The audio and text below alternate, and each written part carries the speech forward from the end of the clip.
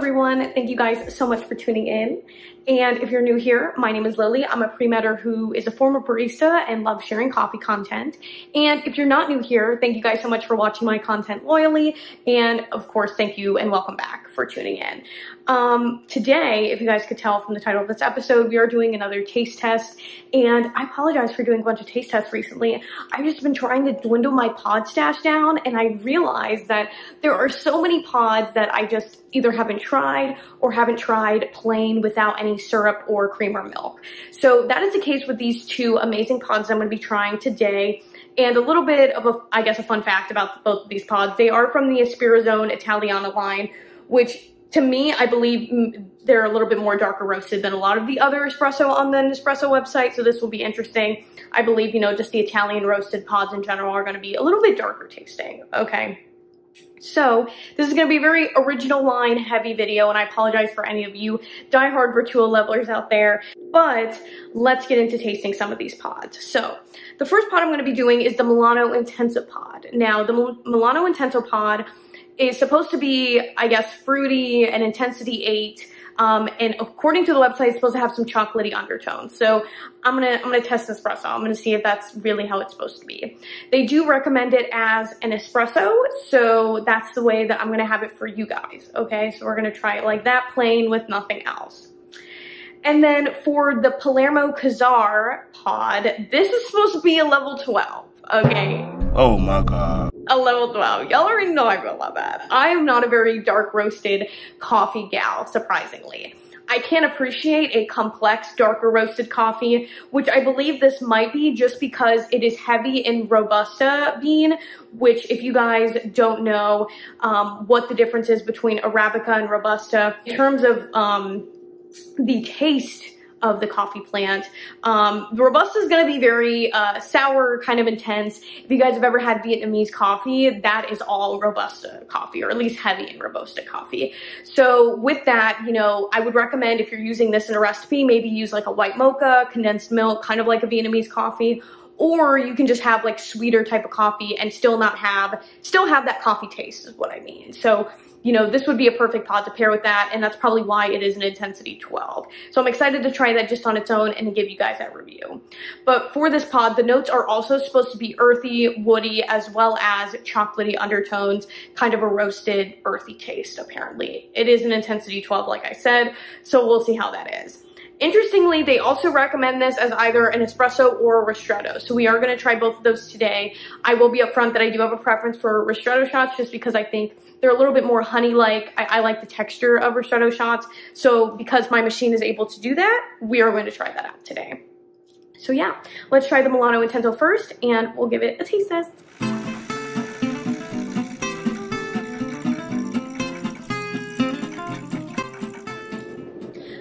So I just got done filming the Milano Intenso pod and let's give it a try. Again, intensity 8, kind of chocolatey notes. Let's see if we actually taste that, okay?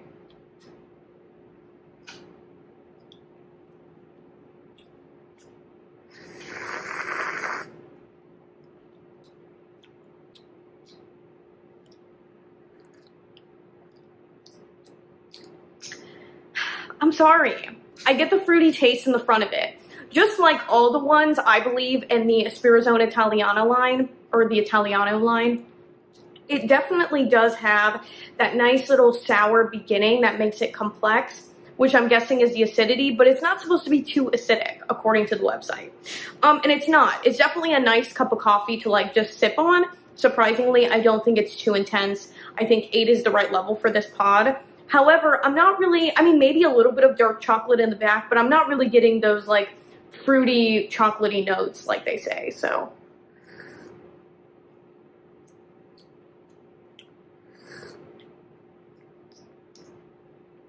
I do get a little bit of cereal note, like they were talking on the website, but other than that, not really, not really there. Okay, um, that's just that's just my opinion. So take that as you will. I do think this is a really good pod and to be upfront and honest, like I said, I have tried this pod in different recipes and I have really enjoyed it. I do like this pod. Um, I can't remember exactly what types of lattes and stuff I've tried it in. I know for sure I've tried it with the Belgian cookie syrup as well as in a plain uh, caramel latte. And I do really like those syrups with it. I think this is a good one to pair with almost any syrup. It's not overbearing in any way that like fruity or anything like that, that you have to pair it with kind of fruity syrups in order to kind of balance it out. So it's really good. I really like it. I'm gonna get TJ to try this for you guys. You know, he likes more of the darker coffees. I don't know if this will be like enough for him. I think this is just right for me, despite it being an eight. So we'll see what he thinks. Yeah, again, a little bit too tall for my tripod, but let's let's do this. Ooh, that's nice. I, I think it's really nice. I was kind of like off put by it, um, like the idea of it anyway, like that, but I, I think it's a good pod. I mm-hmm. highly recommend this pod, and I, and I definitely will be buying it again. I think this is one of my favorites in that line so far. I mean, I haven't tried the Palermo Kazaar pod yet at all, um, but for this one, definitely been my favorite so far. I believe the Freddo Arpeggio, and there's some other ones that I've tried in that line, and I haven't been crazy about them. Like, I would not go out of my way to buy those. But this one, definitely, and I can see why it's limited edition because it is, it is a cute pod, okay? I'd recommend buying this. I think I'm going to give this, like, a 9 out of 10. I really like this. I think that this can go with anything. And I think it has a bold enough taste that it won't get um, mustered down or, or, covered by any of the syrups that you put with it. Um, and I, I, think it's still going to have that nice coffee taste. So I highly recommend it. Now let's do a Palermo Kazaar taste test. Again, we're going to have this two ways. One is a ristretto, one is a regular espresso.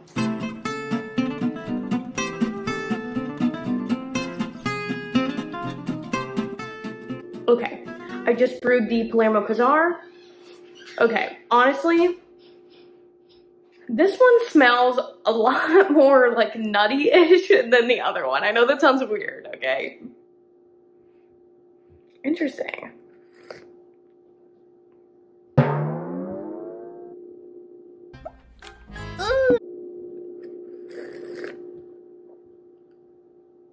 I'm sorry, y'all. I don't know if I could ever drink this black, okay?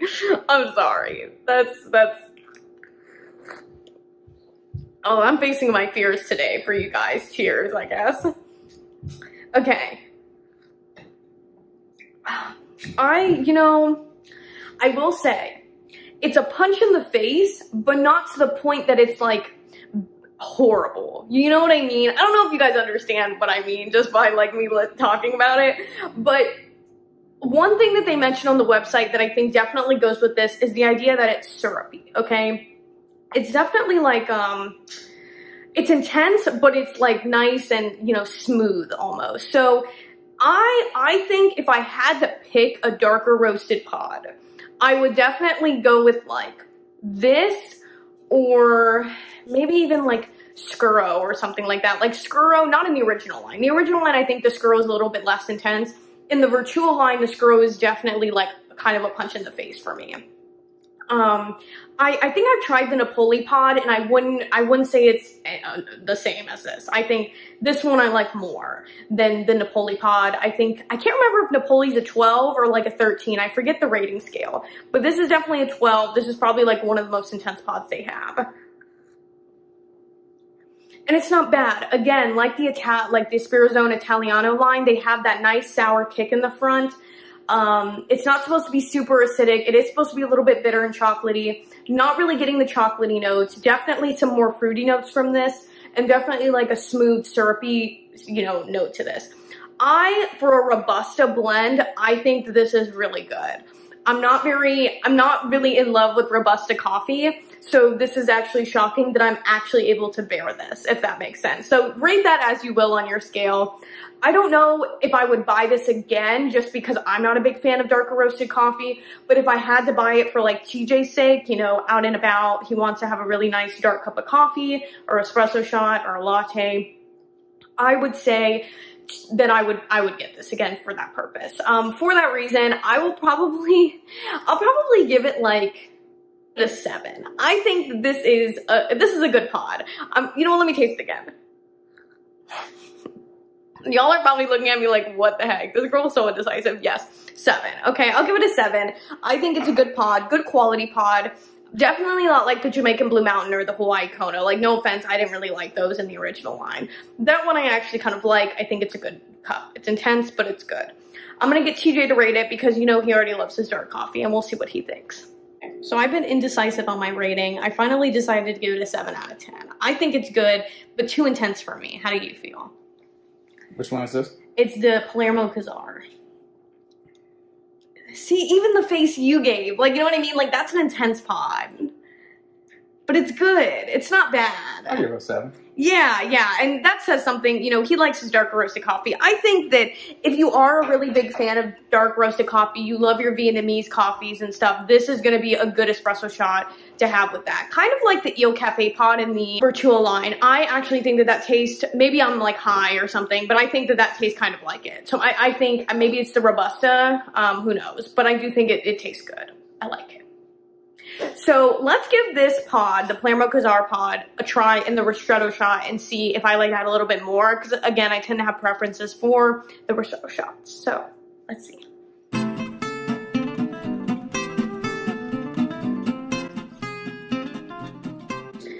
I brewed it in my cute little original line egg. I call it my egg cup because it does kind of look like an egg to me. Brew the Palermo Kazaar on the ristretto setting. And if you guys saw like the little video of me pouring um, the shot from the machine, um, you can see that it, it just it, like it looks like honey. Hopefully it tastes a little bit sweeter. We'll see.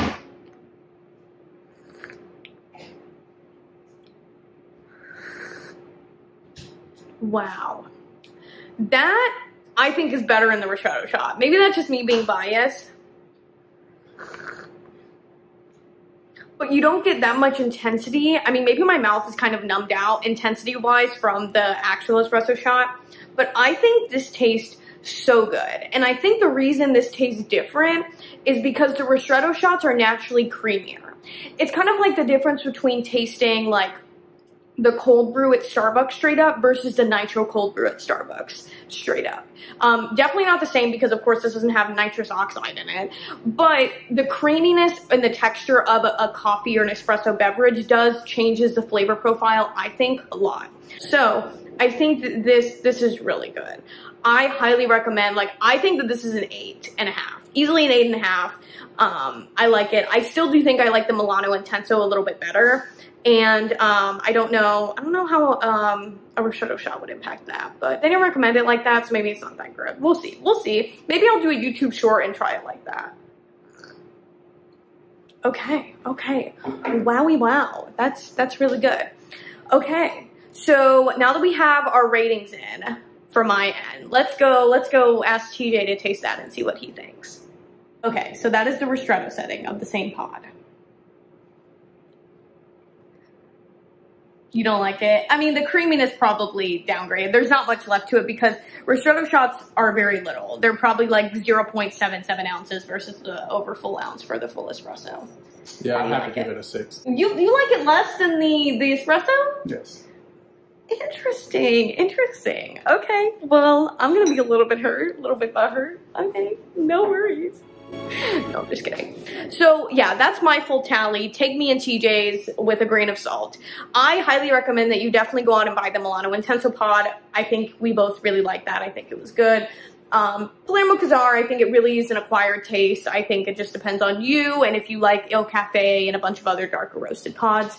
I think if you like the Intenso Vertuo pod, um, maybe even Stormio, or if you like the, again, Il Cafe and the Vertuo line, you'd probably like the uh, Palermo Kazaar in the original line, or if you really like any of the Ispirazione Italiano pods, I think that you'll probably end up liking Palermo Kazaar. The Italiano line is definitely not my favorite. I'm just to be upfront and honest with you guys. Don't really like that line.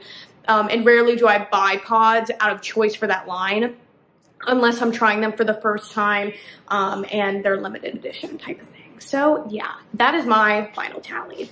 But before I go, I did want to share some upcoming news for some video ideas that I have so that you guys can get prepared and or tune along with me. So apparently they came out with some new pods. I don't know how long ago. I just checked the uh, Nespresso website today and saw this. They have the Whiskey Essence pod, a double espresso pod, um, and they have a few others. I don't know if they like completely replaced some of the flavored coffee like I forget what they're called, but they have like, um, not the vanilla eclair, but the vanilla custard pie in the Vertuo line and a few others in that same like Barista Creations line that they've completely, I guess, revamped or renamed or did something for both the original and the Vertuo line. They're calling them some other things now. I'll put them on the screen. I'll also link them below on in the description of my video. So I'm going to do a little bit of a haul this weekend when I can. We're going to be out of town, so I don't want to get anything mailed because in, in the city, stealing is a problem for packages. So I am going to go pick them up from the nearest store. So it might be a few days. I might be late to reviewing them and I apologize. But I am going to get to them as soon as possible because I did want to review those pods with you guys. I will say that I haven't tried the original versions of those pods. So this will be kind of a very new taste test for me in terms of like tasting the vanilla custard pie. I have tried the caramel cookie, I believe, from the uh, advent calendar. So I can kind of give some insight into that. The only thing I'm not excited for is the fact that they made all of the Barista Creations um, versions of those pods longos, I'm not really crazy about longos. I don't know if I've ever outright said that on this channel, but I'm not very crazy about the original line longos. I actually do like the Grand longos in the Vertuo line because I think they just taste really good. But the longos in the uh, original line just taste too watered down for me. We will see how that goes, again, for the purposes of giving you guys an honest review before you guys go out and buy that. Um, feel free to tune in and see my review. Um, if you do want to taste along with me, definitely feel free to buy those pods and we can taste it together. Um, and then other than that, so if you guys haven't noticed in my show notes below, I have I get not really partnered, but I am an affiliate of Cometeer Coffee. Cometeer Coffee is this frozen coffee that you pour, or you put in the freezer, and once you're ready to use it, it like comes out as a coffee concentrate that you thaw out and you pour over ice water. Um, or you could do hot water and, and it would just be like a hot brewed coffee. It's not espresso, but it is like a coffee concentrate type of thing. So I did order some of that. Um, and if you guys want to order some of that, you guys can click on my link below and I believe you get 20% off or $20 off your first order. So check that out. I used that to see how I ended up liking it. So I think it is a little bit expensive. I have seen some other coffee contenters review it and they do like it. So I wanted to review it and share with you guys my experiences with it before you guys rush out and buy it. But just keeping upfront and honest with you guys, I have become an affiliate of them. I haven't tried them though, so feel free to try it yourself or watch that video from me before you order them. That means I'm gonna have a lot of coffee in the next few months probably because that order from Cometeer Coffee comes with like 30 um, coffee cups and then I'm to buy quite a few from the Vertuo and Original line this upcoming weekend. But I have some important news to share with you guys in terms of my stash. Have you guys ever seen my stash so empty? Like, look, there's like almost nothing in there. Even more for the Vertuo. I guess we've just been liking that. There's like almost none left. So that means I've successfully gone through my stash, y'all. That's that's a big accomplishment. I didn't think I didn't think I was gonna get through it didn't think I was gonna get through it. I didn't think I had it in me. Okay. So that's gonna be exciting um, to get some more, but there's gonna be a lot more taste tests, a lot more reviews coming up. So get prepared for that. Um, I also want to thank anybody that's been tuning along with me through the channel. I know I'm almost at 100 subscribers now, so it means so much to have your guys' support. I've also seen my name come up in a lot of the Nespresso and coffee Reddits that they have out there as like, you know, me being something that they like to watch to get reviews from pods, um, or just like reviews on Nespresso stuff in general. It means so much. I am a new YouTuber and I do have so much going on in my life in terms of a full-time job, volunteering, getting my medical school applications together. So this is a really fun hobby to have with you guys and I really appreciate that you guys enjoy my content just because I like to do it in my free time and my fun time. So thank you guys so much again for tuning in today and I hope you guys have a wonderful rest of your week and I will be getting that content out there for you guys. Bye.